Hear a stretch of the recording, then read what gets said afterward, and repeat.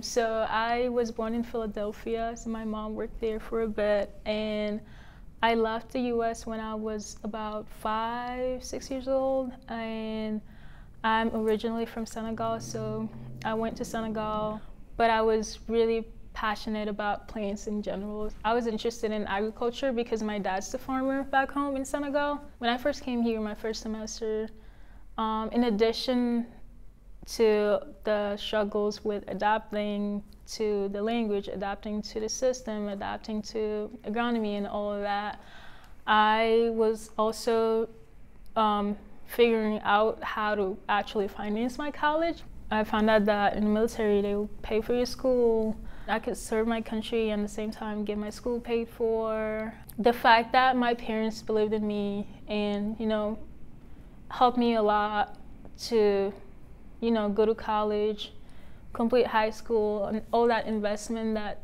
they did for me, I just felt like I had to return the favor, kind of, and also prove that I can do more, that I have the potential to achieve more for my studies. The ultimate goal is to be able to go back home and bring in all that knowledge, um, be able to help people with it, especially my dad, just to improve our systems.